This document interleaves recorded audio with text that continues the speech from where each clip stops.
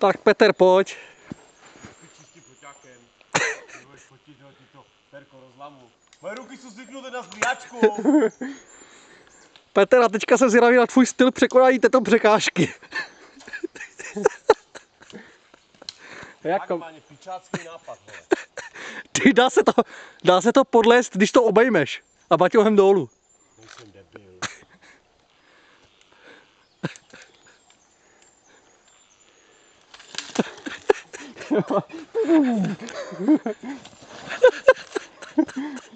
Kokoti, všichni tři Maria, vole, už nemám ani slova. Petr, a ako sa ti táto trasa páči?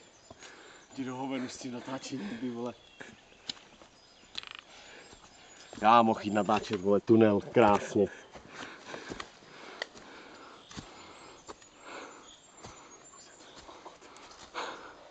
Tak, Jestli čekáš, že to vole zamává bolice, vole, tak ta se strašně námovno.